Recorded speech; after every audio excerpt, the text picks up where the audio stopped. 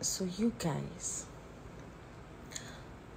you think that because I went to BBN, I should be living a fake life? I should be living that life to be in your faces. Hey, God.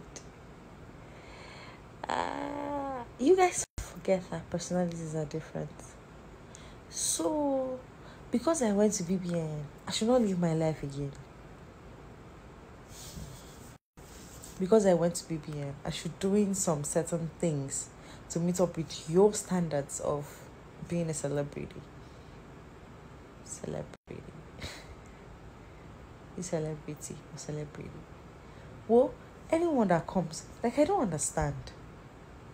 I don't get it. So I'm trying to understand something here. So because I went to BBN, I should be living